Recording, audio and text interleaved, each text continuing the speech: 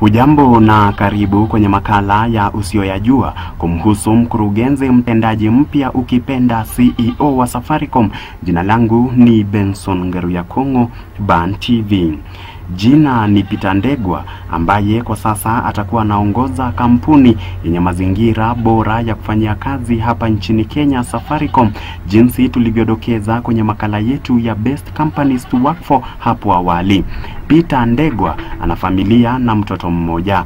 Ndegwa alipata degree kutoka chuo kikuu cha Nairobi ya maswala ya ekonomia na masters degree kutoka chuo cha biashara London. Ndegwa amefanya kazi na kampuni tofauti tofauti. Mwaka wa elfu mbili na nne aliingia kwenye kampuni ya EABL kama msimamizi wa mipango ya kampuni na akaleta uzinduzi wa mvinyo wa keg ambao Wakenya wengi hutumia. Mwaka wa elfu mbili kumi na moja Ndegwa alipata wadhifa wa kuwa mkurugenzi mtendaji wa Guinness Ghana na baadaye Guinness Nigeria.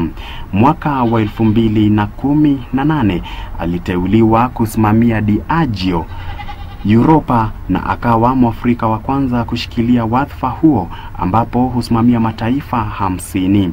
Peter Ndegwa ndiye Mkenya wa kwanza kuteuliwa kusimamia kampuni ya Safaricom ambayo faida yake ni takriban bilioni sitini na nne ina wateja zaidi ya milioni thelathini na tatu. Ndegwa ana tajriba ya zaidi ya miaka ishirini na tano kwenye sekta ya biashara.